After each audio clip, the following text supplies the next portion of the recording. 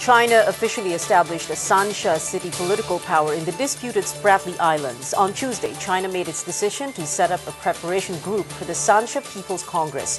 The preparation group was created to approve and form an election committee that will take charge of the election of deputies to the Congress, the new city's legislature, and the Assembly's first congressional session.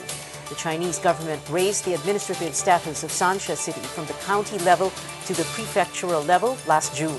Sansha City's administrative authority covers the islands and surrounding waters of Xisha, Zhongsha, and Nansha, all of which are situated in the West Philippine Sea. The People's Republic of China created the administration office for the three islands in 1959.